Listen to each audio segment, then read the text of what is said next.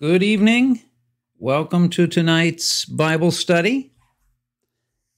Good to be with you tonight on another beautiful, beautiful day here in Darmstadt, Indiana. Beautiful fall weather. Just fantastic weather today. Was talking with my daughter in um, San Jose, and they had 97 degrees there today. And I, I was saying, uh, it was just a beautiful fall day here. Uh, when we visited out there last year in October, uh, one of the tour guides said October is like their summertime out there. So um, I'm enjoying the fall weather myself. I'm glad uh, for fall. So good to see you all tonight. I saw already some comments. Um, Butch and Kitty. Earlier, Mike and Charlotte are with us, and Kayla and uh, Mike and Charlotte, I met with them the other day. They're uh, planning on joining the church at the end of the month. We'll be having Membership Sunday, October 25th. So good to see you all tonight. Looking forward to tonight's study on Philippians chapter 3. There's Donna. Good to have Donna Gross with us. Philippians chapter 3. Been really enjoying this particular book and this particular chapter. Looking forward to getting into it tonight. Philippians chapter uh, 3. Uh, some familiar portions to this um, book, but also I think some things that will be new. It's good to see Fred and Becky. And Donna and John are watching. Um, I do begin tonight with some sad news. Uh, Alan Fessmeyer passed away this morning. Good to have Robin and Elaine. Uh, Alan had been sick. Most people remember around the 16th, he went into um, the hospital to have surgery and um, for his bladder. And uh, they thought perhaps it was cancer at that point. It wasn't.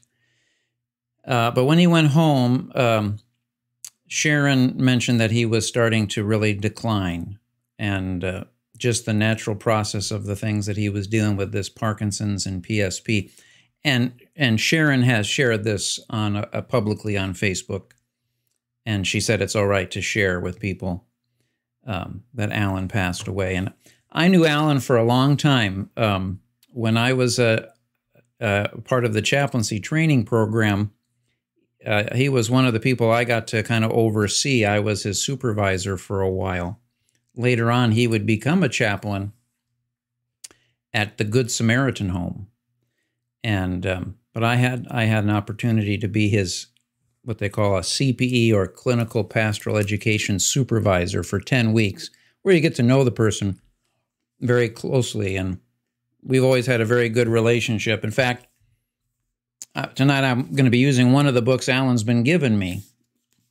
So um, I know they're making arrangements with um, Alexander Funeral Home, and that will be coming out, and there will be a service and visitation. Talking, I got to visit with Alan just yesterday at at their home, and uh, you know it was obvious he knew I was there, and we prayed read the Bible, and uh, Sharon said he smiled a lot, and that one of the things that he he often did. We often, when we would see each other, we would smile. We kind of had a similar sense of humor, Alan and I, and um, so I, I, do want to be praying for Alan. But I was going to say, uh, Alan's family. Hi, Marlon. Is that uh, Sharon mentioned this morning, his wife, that when he passed this morning, it was very, very peaceful, very peaceful. So we praise God for that. He was only on hospice care for less than a couple of days. And, um, and they mainly had done that because it was getting harder for Sharon to take care of him. So it, it, once uh, the process of his dying happened, it happened rather quickly. And again, I'm speaking about Alan Fessmeyer, someone we've been praying for. Alan and Sharon were very involved when they could be before he got sick in our Wednesday Bible studies, which this is kind of the the Wednesday Bible study in, in COVID mode. this is how we did the Wednesday Bible study. We went through things pretty in depth. We would work through a book, and Alan was very involved in that, uh, as was Sharon when when they were able to come. And so, definitely want to be praying for them for sure. Um, well, why don't we begin with a prayer? And I want to especially just pray for Sharon and for her family. Heavenly Father, we thank you this night for our uh, opportunity to turn to your word. And as I'm thinking of Alan right now, I think of how much he really uh, those Bible studies and the in depth nature of those studies. And then when we had a, a pastor group that would meet here at the church, some, many of them retired pastors, Alan was a part of that. And uh, I thank you for those times that we had together and for the long uh, history that I've had with him and with Sharon both, as she was the the secretary there at the chaplain's office when I began. And um, I do pray for them. I pray that uh, that Sharon would experience right now your grace. I know she has been. I know she's experienced your grace as it's been working in their lives, especially in the last several days. And I pray that as she's facing this reality now and as they're making the plans with her family in the funeral home that she would experience your grace in the midst of all of this and we pray that uh, the visitation and the service would uh, lift up the faith that Alan had and the, the hope and the comfort that we'll even talk about tonight, the true reality that has come in Christ. And uh, thank you again, Lord, for Alan's life. Thank you for this chance, even in the midst of this pandemic and all that's going on, that we can continue on this study of your word and find in that study um, the life, the health, the peace, the joy that you have for us, and uh, the direction and the guidance that you will have for our lives. We receive your looking after us and guiding us this night through your word, for we pray it in Jesus' name. Amen. Okay. So, again, if you're just joining us, I was sharing that um, one of our members, Alan Fessmeyer, passed away. Uh, his wife, Sharon, if you're friends with her on Facebook, and, it, and she shared it publicly. So, if maybe you're not, but someone you're friends with is, it might have shown up because they commented. But she mentioned that Alan had passed away. And um, and it was after uh, after a long time of illness but just a real recent time of really a quick decline. And as I was saying, they believe it was primarily due to his his chronic illnesses that he was dealing with. Just really begin. Uh, Sharon was explaining to me how this PSP, which I don't fully understand what it is, but how it attacks uh, parts of the body and things, and would be, be the cause of of his his decline and and his passing away. Well, we're in Philippians chapter 3 tonight, and um, the sermon text is going to begin at the second half of verse 4 and continue on uh, to verse 14. But I want to start at the very beginning uh, and go, go over this because the background to uh, verse 4 and on is found at the very beginning. And he says right at the very beginning, we're chapter 3, verse 1 Further, my brothers, rejoice in the Lord. Now, here we are again. Um, we've mentioned that rejoice and joy um, are a big part of this letter. Gordon Fee, a very respected Bible expert, he said this is the sixth occurrence of the verb rejoice. Now, there's the noun joy, having a thing, joy, but this is the verb rejoice. And he is, in a sense, well, he is here telling them to do something. If you remember, verb uh, speaks of an action that you do. And uh, for Paul, he says, this is a verb, something we do. The verb means to verbalize with praise and singing, echoing a refrain from the Psalter, from the Psalms. Psalm 32 11 says, Rejoice in the Lord and be glad, you righteous. Sing, all you who are upright in the heart. Remember, uh, Paul was a, a Jew, he was someone who was steeped in the Bible. And so it makes sense that uh, his commands to the Philippians would reflect his, his background in the, in the Bible. Psalm 35 9 says, Then my soul will rejoice in the Lord and delight in his salvation.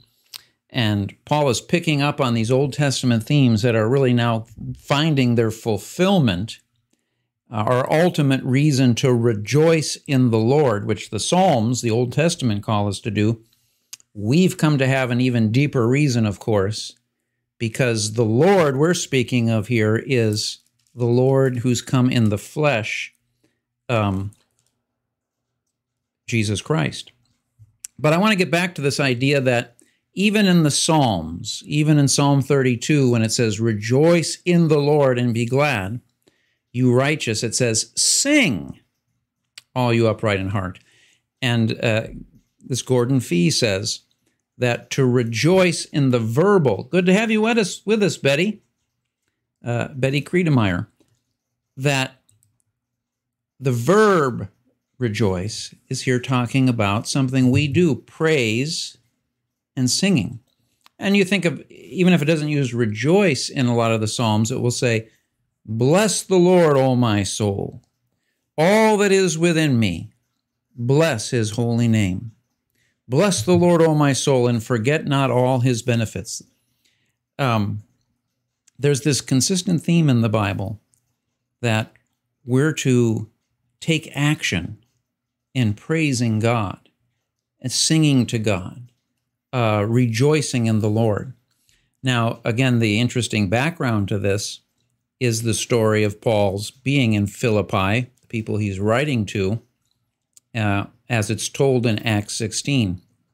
Because we mentioned that in Acts 16, it says that they were thrown in jail because people a, crowd was stirred up by these people who had had this woman who was telling the future. Uh, Paul took away that ability as he he commanded the spirit to come out of that woman, and so they stirred up the people to say these people are undermining Roman values. And Paul got thrown in jail after a good caning. Uh, I think there's still some places in the Far East that cane. I'm not sure exactly where but I know there, that that's happened, and that's something they did then, beating beat him with rods. But it says that while he was in jail, they sang hymns to God, and so it's um, uh, interesting here. Paul did not just uh, say, you know, do as I say, not as I do, but he was a living example for rejoicing in the Lord. Here he was in jail and he took this uh, action, the verbal action of rejoicing in the Lord. Um, Paul thus gives this motif, meaning a theme, perspective. We are to rejoice in the Lord, as with the psalmists. The Lord who saves is the basis and the focus of our rejoicing. The phrase in the Lord refers to the sphere of our present existence. We live in the Lord, and thus points to our basic relationship to Christ. Christ is the center of it all. And as we're going to see, he's going to be contrasting Christ with his old way of life as a, a follower of Torah, of the Jewish law which he'll jump into right away here.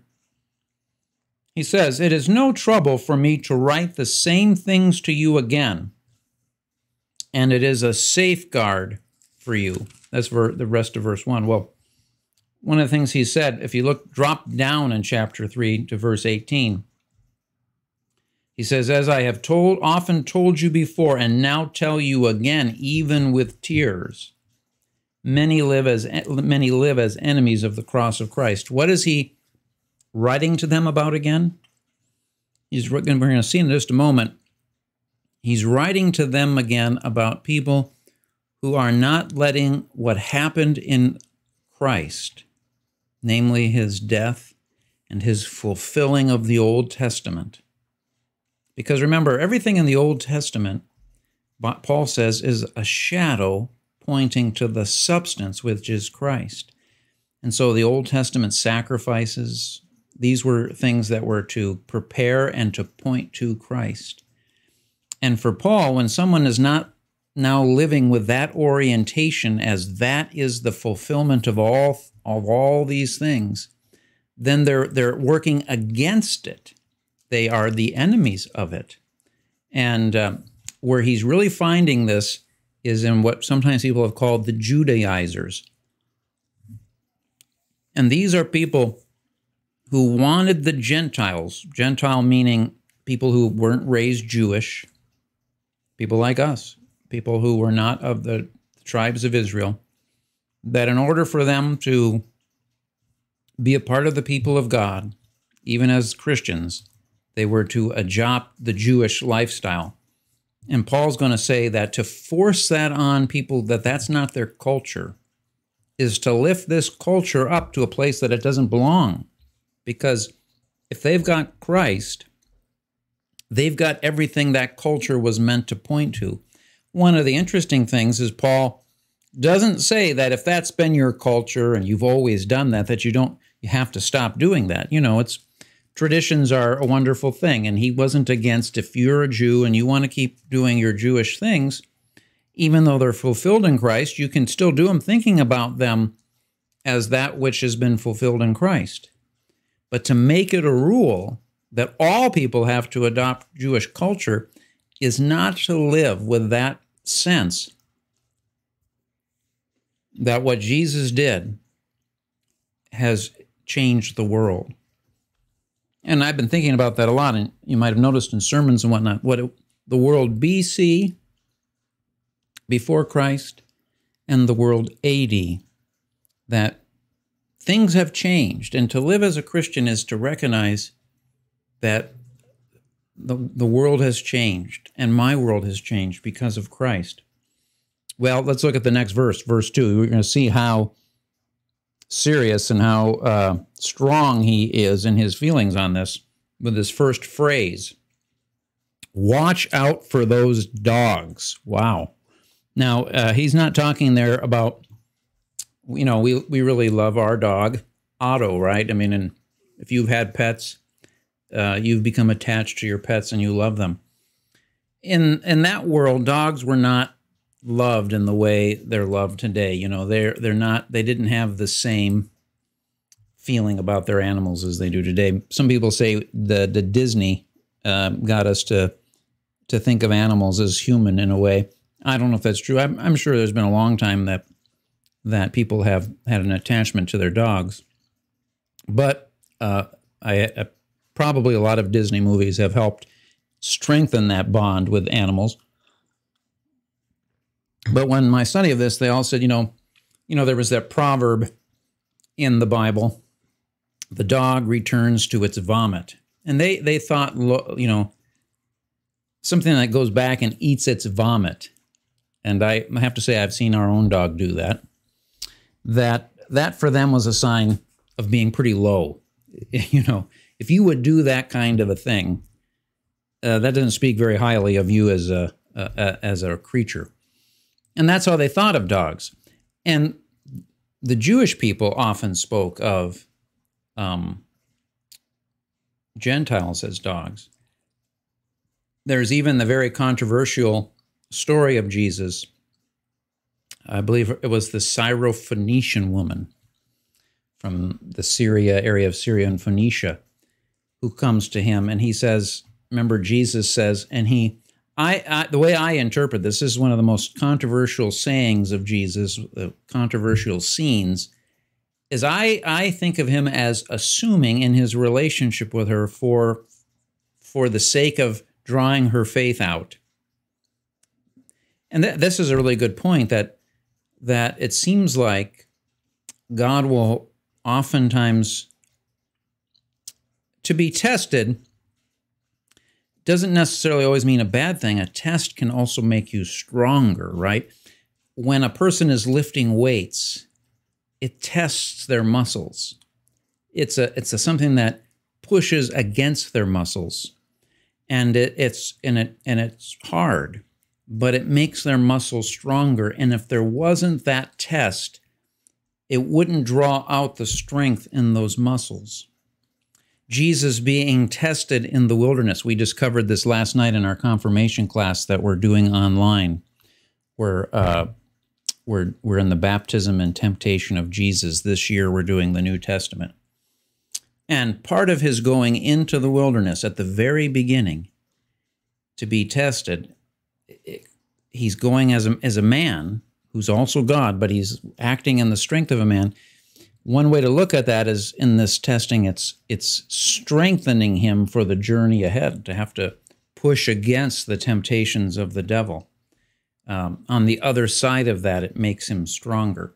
Well, I I see Jesus saying, assuming the the um, mindset of the typical Jew, Jew when he says to that Syrophoenician woman, "It's not proper to give uh, the the children's food to the dogs."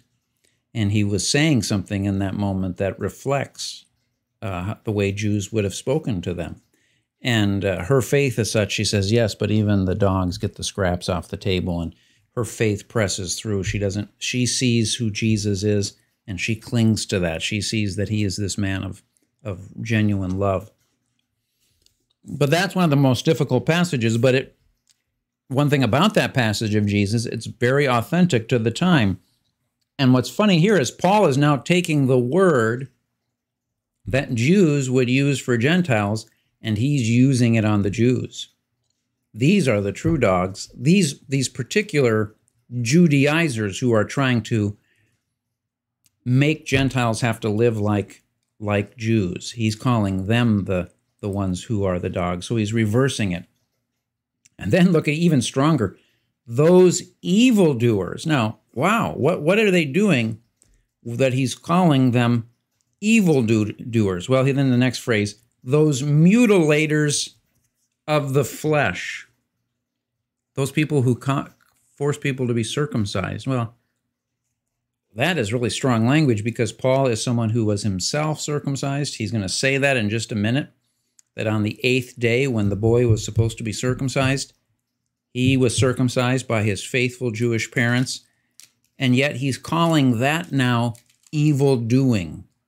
He's doing this on purpose to really say if you undermine the truth about Jesus, you're an evil doer.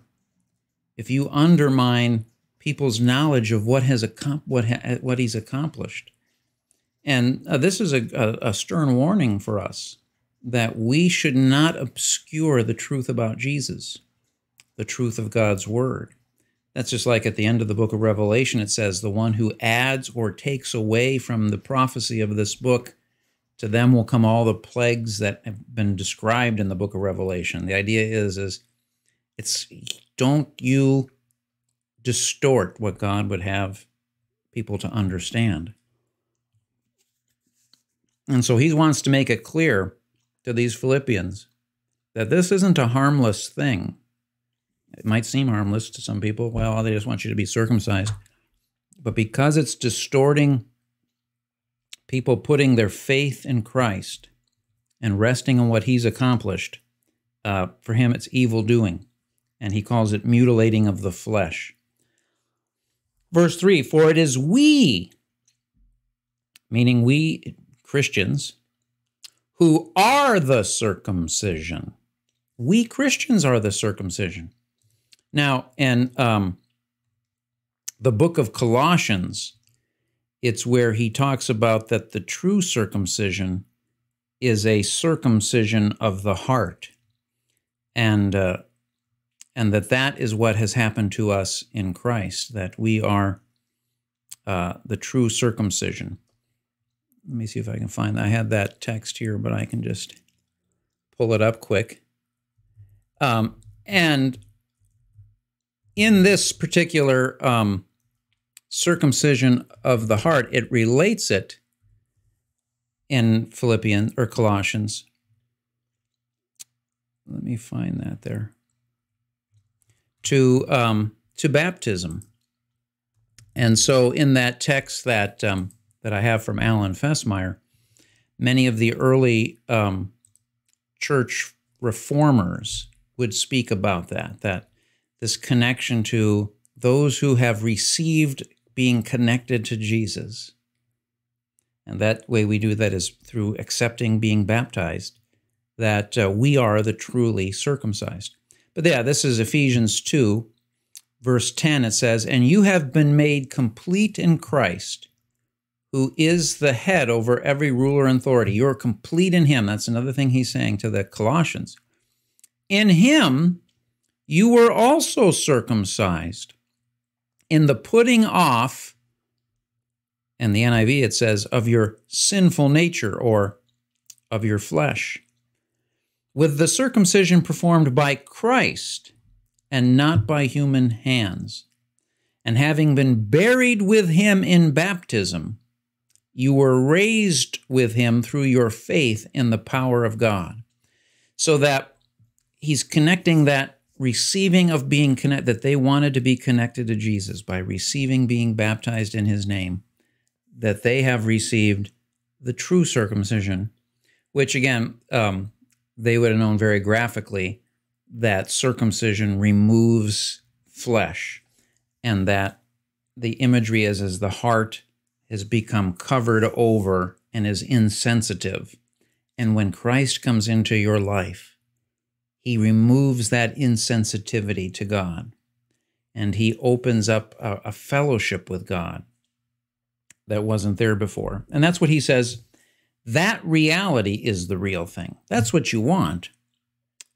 Uh, the change of a physical removal of flesh, that's not the same and it's not of the same value uh, as having a changed heart. The changed heart is the real thing the circumcision of the flesh, that was a, a picture of that.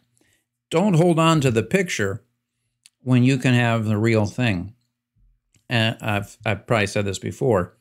Uh, the way I often think about that are how the things in the Bible are the symbols, and the real thing is what's come in Christ, and we're to cling to the real thing. Is how when I was a child, we got the Sears Christmas catalog, the Wish Book, and we would look through it and we often saw things in there that we wanted.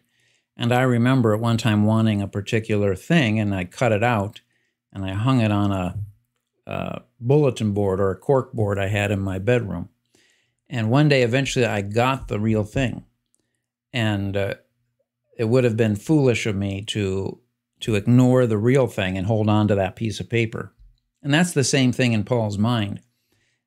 The things in the old testament are like the pieces of paper are the pictures of the toys in the Sears catalog wish book, or for people today, the the pictures on an Amazon website, and to, and to make that everything, and that's to really to miss the big point. The big point is that you you've got the real thing now. The real thing is a changed heart, true circumcision. He says, "We who serve God." By his Spirit. We're the ones circumcised. We have this spiritual reality. We boast in Christ Jesus, he said, and we put no confidence in the flesh, no confidence in our having done certain actions as a way of earning God's favor. Though, he says, I myself have reasons for such confidence. Now, here's another interesting thing here that's going on. If you remember back in chapter 2, uh, he said they should have the same mind as Christ Jesus. That's the chapter just before this. And there were things Christ could have, in essence, boasted of. He was in the very nature God. And he could have been, he could have seen himself as being, uh, and he did see himself is equal to God. But he didn't make that something that he would grasp and hold on to. Wow, good to have my sister with us from Wisconsin, Charlene, joining us. And uh, the pattern of Jesus there, of course, is that he doesn't hold on to the things he could boast in. And just then afterwards, he talks about Timothy and Epaphroditus there in the end of chapter 2 as examples of people who didn't hold on to the things they could boast in. And here, chapter 3, he's talking about that same issue again. He's saying, uh, these people are boasting in themselves. They're not following the pattern of Christ. And the, the pattern of Christ is to turn away from yourself, even in the way of our salvation, and to turn to uh, and to humble ourselves. Remember, James says, God opposes the proud, but gives grace to the humble. But here's what he says I, I had myself had some reasons. I have some reasons for confidence. If someone else thinks they have reasons to put confidence in the flesh, I have more. Verse 5 circumcised on the eighth day. That is in Jewish law, when a baby was born, a boy, on the eighth day they were to be circumcised. He was. What we know is, is that there were some people in that time period uh, who were influenced by uh, Greek philosophy who stopped circumcising their children. And so there were Jews who who thought of it as well, we don't do that anymore, and those who do. And Paul says, My family was of the strict family that did that. We believed in it. He says, Of the people of Israel, I'm a, I'm a, I'm, I was born an Israelite, of the tribe of Benjamin. If you remember, of the 12 tribes, there were two sons from the same mother, Joseph and Benjamin. Remember when Joseph is in Egypt, you know, they leave Benjamin back, the brothers who had sold him into um, slavery, because they just thought if if we don't if we lose this one brother, the other brother that's loved, um, you know, as this as the son of Rebecca, the the one that um, um, that my dad really loved, Isaac and Rebecca.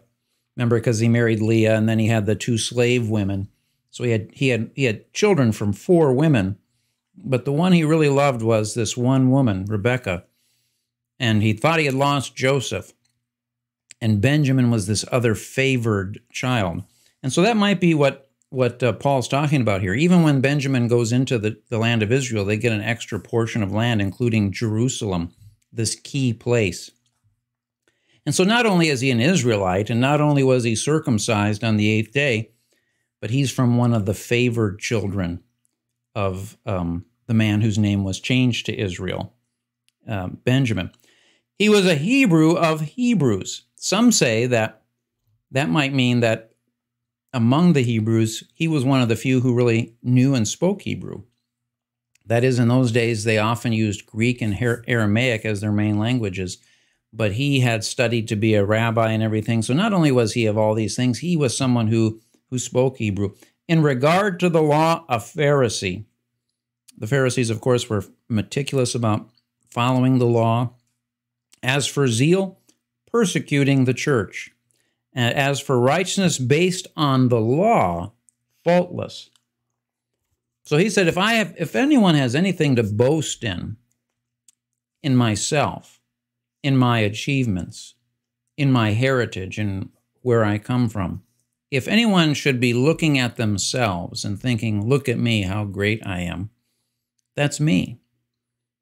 But what does he say? Verse 7 Whatever were gains to me, I now consider loss for the sake of Christ. That is, this is the key thing for him. And that's where it began. That's why I wanted to start in verse 1. He says, Rejoice in the Lord. Where is one to find their, their, their identity, their purpose, their peace, their life.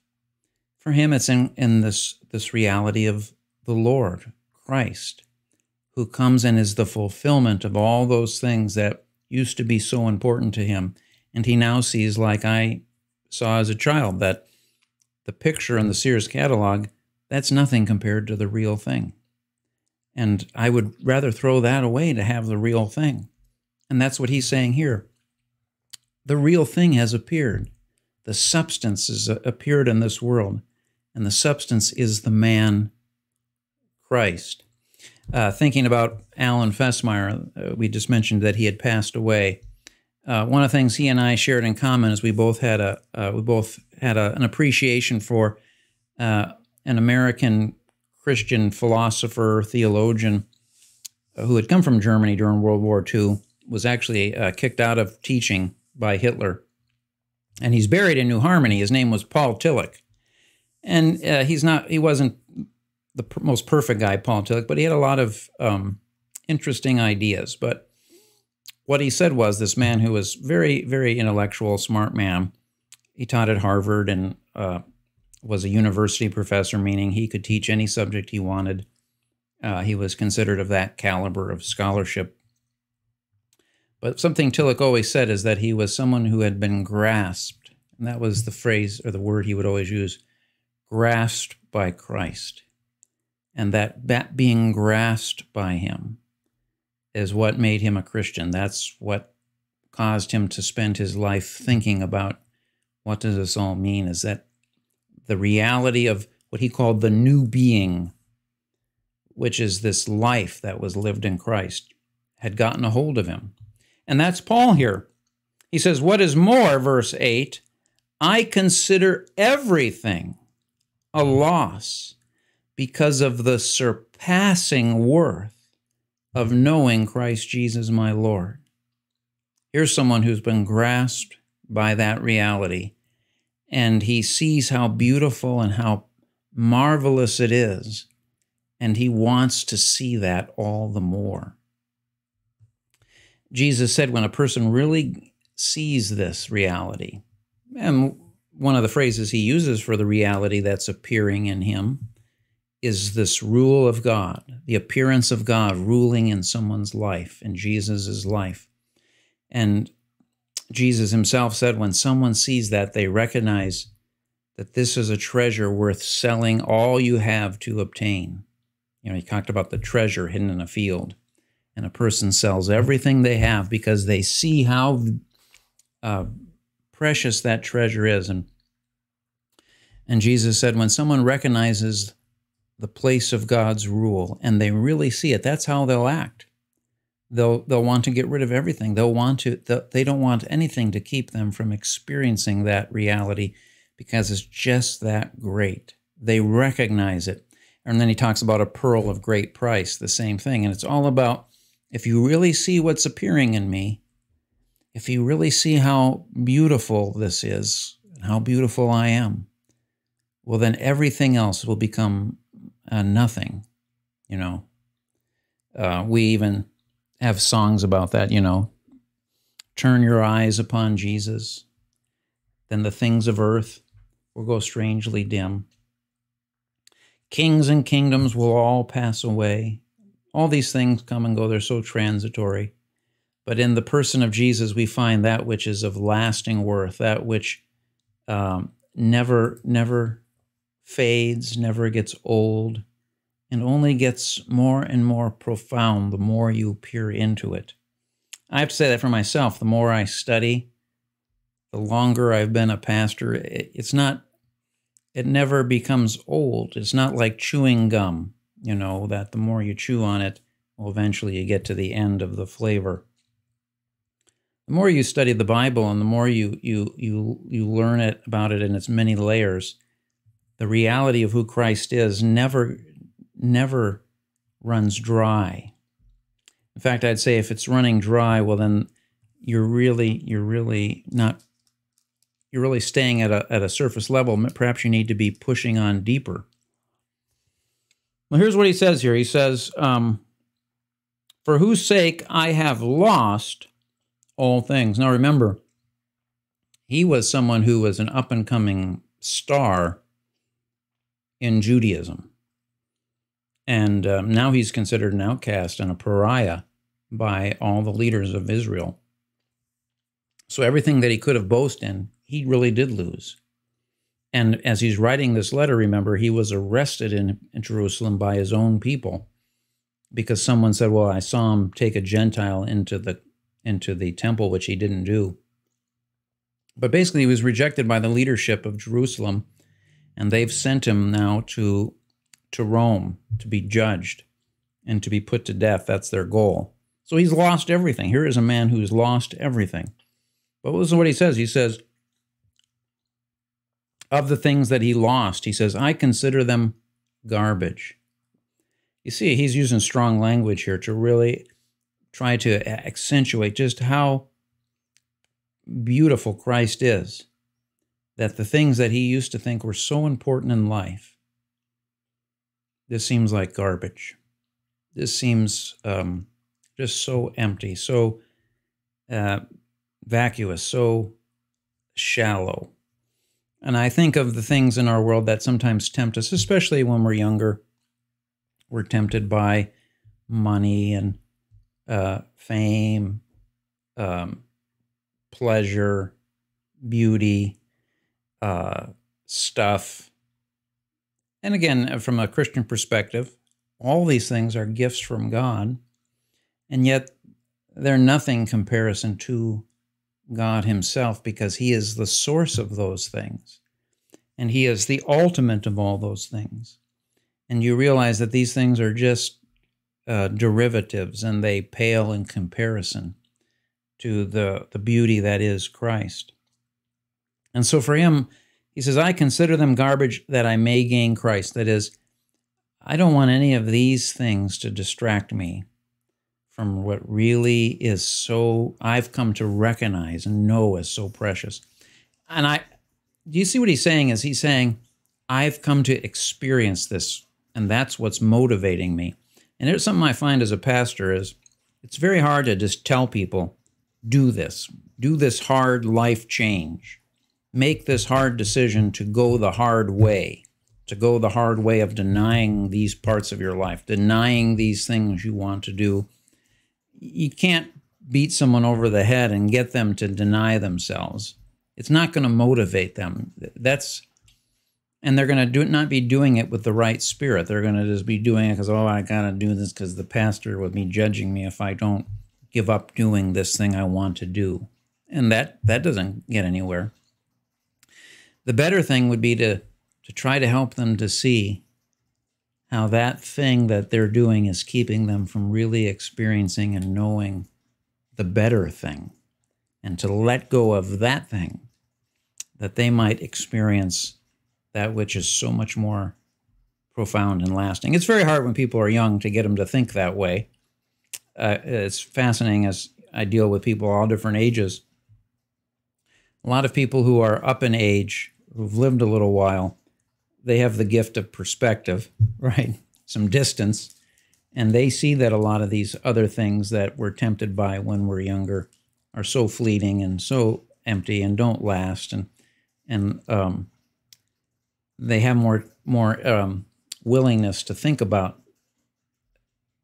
these deeper things. And that helps a lot. But Paul's saying that. He's saying, I want to gain Christ. Verse 9, and be found in him. To be found in him. To be a Christian is to be in Christ. It's to live your life in the sphere of Christ, in, in him. He is that in which you live. That's why it often spoke in the book of Acts of people being baptized in Jesus' name and into Christ, into his life. It's he's the one we identify with and we live from. And he's our connection to God. And he goes on to explain that. Not having a righteousness of my own that comes from the law. What he's saying there, not having a rightness to my life that comes from my having done the things I'm supposed to do that I went, I jumped through the hoops. I was circumcised. I uh, observed the Sabbath. I uh, did the letter of the law. No, he doesn't want that. He wants this which comes from God. Uh, and I really like how it is um, this verse is in the Common English Bible, a newer translation, which translates it, I think, in the way that I think scholars are coming to see is the better way of translating it. Um, it says, To be found in him, in Christ I have a righteousness that is not my own, that does not come from the law, but rather from the faithfulness of Christ. the faithfulness of Christ. In some of my studies, I've brought this up before that there's, there's always been a question of how do you translate what's called the genitive form of the word pistis or faith? Do you translate it as something we're doing, we're having faith in Christ? Or pistis can also mean faithfulness. Is this describing the faithfulness of Christ? So you see, there's my faith that's towards Christ or the faith of Christ. And uh, the way this reads, I think it makes the most sense because then right after it, he says, It is the righteousness of God that is based on faith. Our faith is mentioned after, but it doesn't, uh, I think he's first emphasizing the faithfulness of Christ. Remember, I said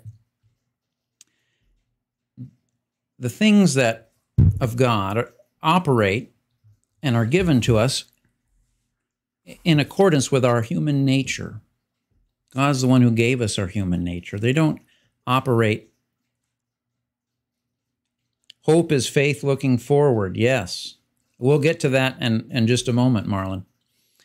But remember, I've mentioned that faith is not something that just happens contrary to our nature, that God just gives us faith as something as a sheer act of power where he he overrides our humanity.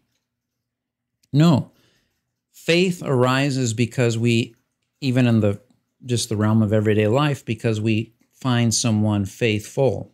We trust someone because they've shown themselves trustworthy. And more and more, I think scholars are recognizing in these places where faith is being used twice like this, that the first thing being emphasized is the faithfulness of Christ. And so the Common English Bible says, In Christ I have a righteousness that is not my own, that does not come from the law, but rather from the faithfulness. Yes, uh, that is true, Kimberly. Faith is sometimes, and it's good to have you with us, Kim Wilner.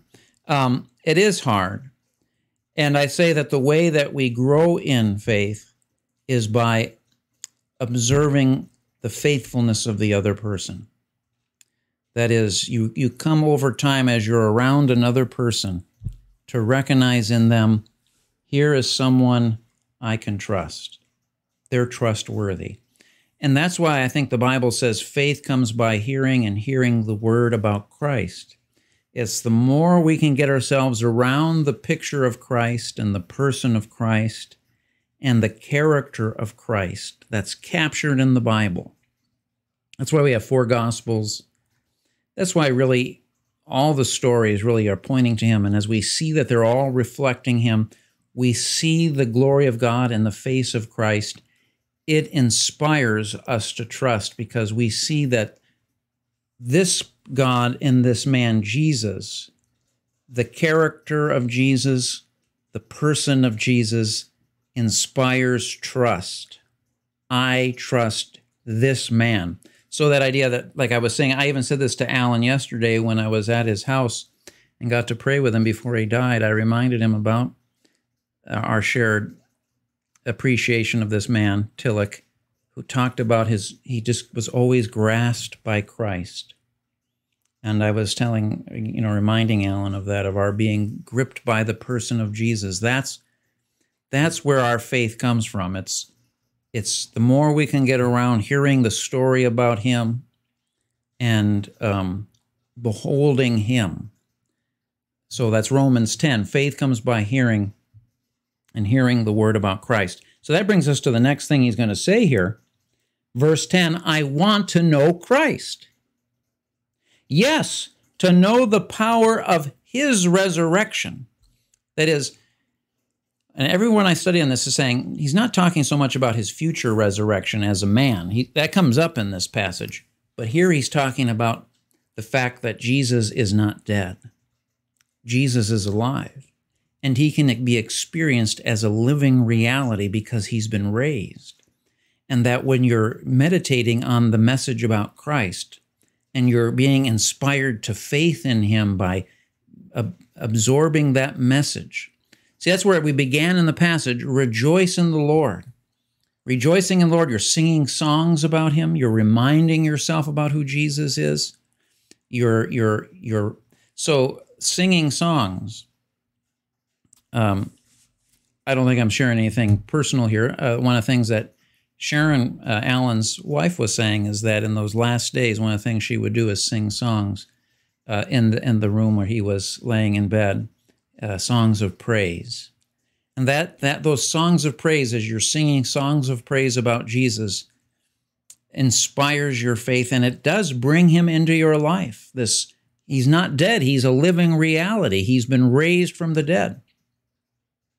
And that's earlier he talked about the Spirit. The Spirit is the personal presence of God who comes through Jesus as you're praising Him and you're talking about Him and lifting Him up.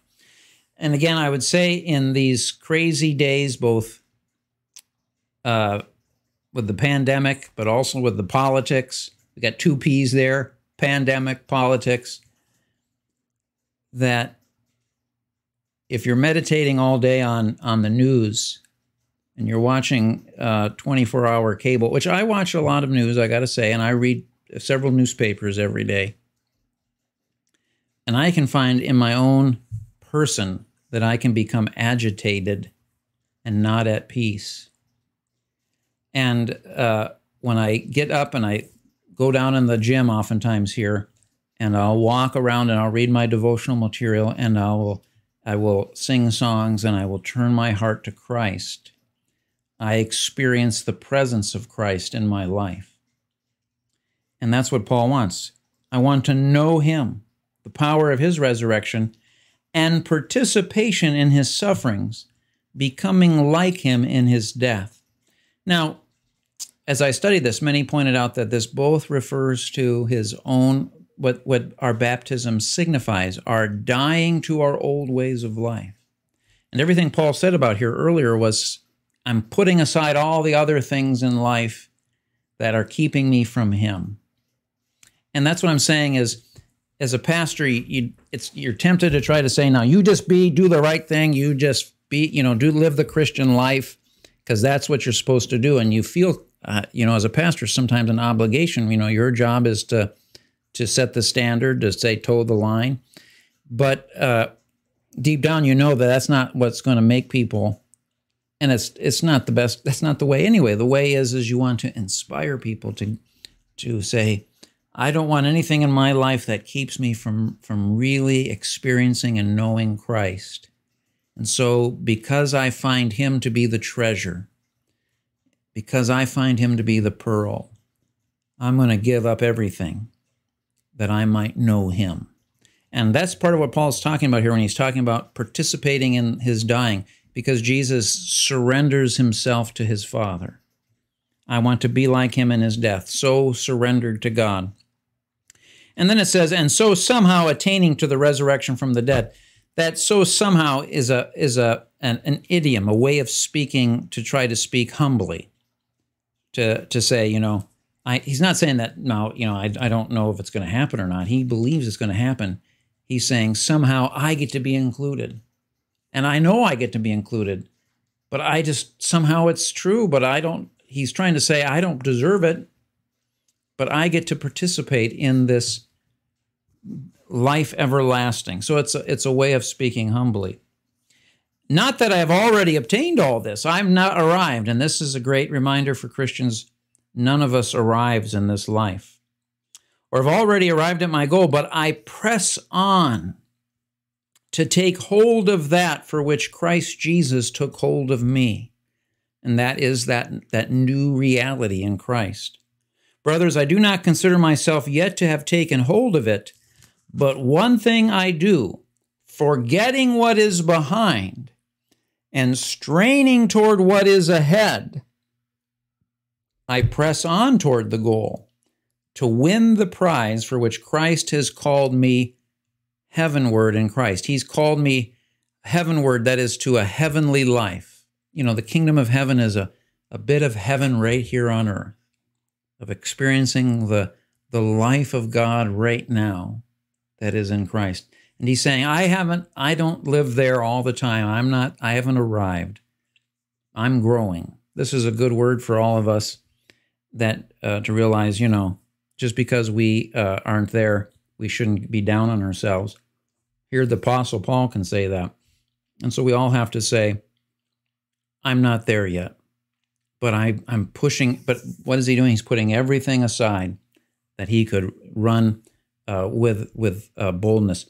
I got a, um, a picture here that I got from one of my resources. Uh, a favorite image in the ancient world was of this race. And you see how they're, they're, they're running there and they have nothing on. That's one of the things that they would do. Now, why would they do that? Because they were wanting to win the race and, and you didn't want to have anything holding you back. So you got rid of everything, literally your clothes. And um, they would be putting their eye on the prize and they would be fixed on that. Uh, the competitors, though, through severe training, had no super, superfluous flesh and ran unclothed. Flesh and clothing were laid aside as a weight that might hinder them in the race. Yeah. So uh, you talk about dedication. They uh, were willing to to strip down to nothing. That is, they carried nothing with them. And so Paul is is you know, it's not that we can't have good things in this life, but we should have them as if we don't have them. They should really not have us. There was a there's a good book, The Freedom of Simplicity by Richard Foster. He wrote, and I know Kayla Street really she knows uh, Richard Foster's work. He wrote The Celebration of Discipline and and Kayla actually gave me a book of of various spiritual writers that I've appreciated over who wrote over the centuries. But in the freedom of simplicity, he talks about that that um, that we're called to not be attached to things because as soon as you become attached to them, they're they're they're holding you back, just like clothing would have held those those runners back. And Paul's image here is forgetting what is behind. I'm wanting the heavenly life of knowing Christ. And anything that's keeping me from knowing him I want to I want that in my life. I want that in my life. Well, that's where our text ends for Sunday. It ends right there. I press on toward the goal to win the prize for which God has called me heavenward in Christ Jesus. I guess what I would say to you is those who have been listening tonight is that that this is what God would want for you. Yes, we can have then, but they don't have us. That is, yes. Very good, Kim. Very good. Yeah, that's the whole thing. That, that things are not to have you, and um, and to cultivate. And the way I would say it again is, the best way for things not to have you is to really cultivate the knowledge of Christ. And the more you cultivate the knowledge of Christ, and the more you cultivate knowing Him the more other things will really seem um, they won't seem that that special compared to that compared to that fullness that one has in him as one is spending time getting to know him and that's why paul says i want to know him and, and it's kind of one of those circles you know the more you want to know him the more you let go of things and the more you let go of things the more you know him and the more you know him the more you let go of things and the more he becomes your all consuming reality and you want to be like him. And so you want to be like him. And so you start to act like him and you start to be like him. And it's coming from this place of not being told you got to be like him. It's because that's what you value, that's what you desire, that's what you want. And it's and it's driving you. And it's faith arising out of uh, experiencing his faithfulness towards you. Well, let's end with a prayer. Lord, we thank you for the beauty that is Christ. And forgive us for the fact that we don't we don't pursue him like we should. That uh, that we don't uh, like Paul make it our desire to know him with such intensity. May we may we want that more and more and as we do it more and more it would make us want it more and more because we'll see how beautiful he is and our lives will be more and more shaped and determined by our faith and how what the things we value. That's the main thing. Paul was saying these people, their lives are not the things they're valuing circumcision, Jewish laws. They don't realize that that's not the stuff. The stuff is Jesus. And may we see that, Lord, that that's the thing of value. And that as we experience that and know that, uh, may our lives then experience this power of his presence through the resurrection in our lives, that he is a living reality, not a, a dead idea, a mere something in the head, but a, an experienced person that we know personally, Jesus Christ our Lord. And we can say, I know him and I want to know him more because he lives in me. He lives within my heart. We pray it and receive it, Lord, in Jesus' name. Amen. Well, once more, the Lord bless you and keep you. The Lord make his face to shine down upon you and be gracious to you. The Lord lift up his countenance upon you and give you peace. Amen.